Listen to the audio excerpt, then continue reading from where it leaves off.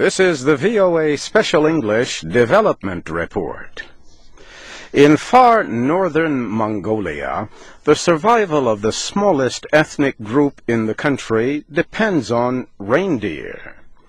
An American named Morgan Keay visited the Tsatan community when she was studying in Mongolia in 2002.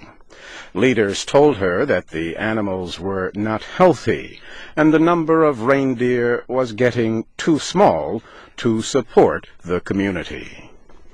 When she left, the chief gave her his grandfather's smoking pipe. That way she would remember the Tsatan and try to help them. The Tsatan have about 500 members.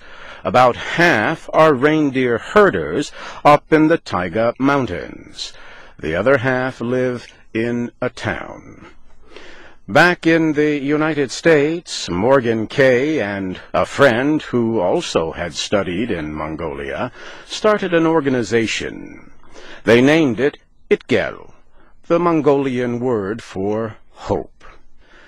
The Itgel Foundation has helped send foreign scientists to Mongolia to research and treat reindeer diseases. Itgel also helped Tsatan workers build a community and visitor center. The building includes guest rooms for tourists. The Tsatan not only work as guides, they now provide all services for travelers. The community works in partnership with international tour operators. Those tour operators formerly had been in control of the services. People in the community designed the visitor center, which they also own and manage.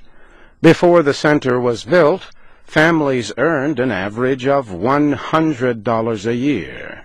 Now, Morgan Keay says the average is three to four times that. Money also goes into a community fund. Four years ago, the Tsatan had fewer than 500 reindeer. Now, Morgan Keay says the herd has just reached 900. Last year, the Tsatan learned that the government of Mongolia planned to spend one and a half million dollars on their community. But no one had talked to the Tsatan about the plans. The Itgel Foundation organized a meeting between community members and government representatives. Morgan Keay says that Tsatan are becoming economically independent for the first time. The Mongolian government is now considering a development plan written by the community. The plan deals with education, health, the environment, and economics.